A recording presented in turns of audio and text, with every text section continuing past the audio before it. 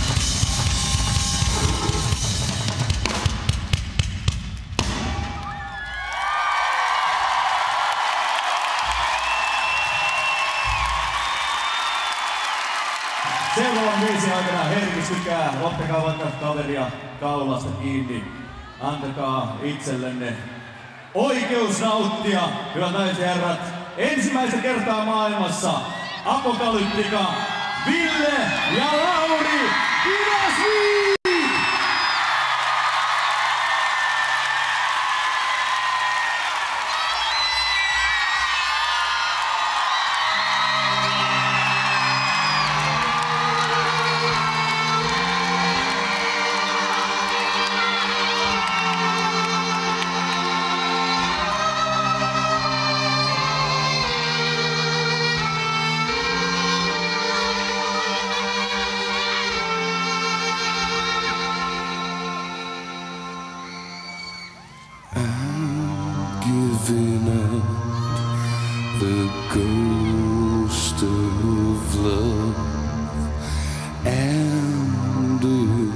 shadows cast on the ocean.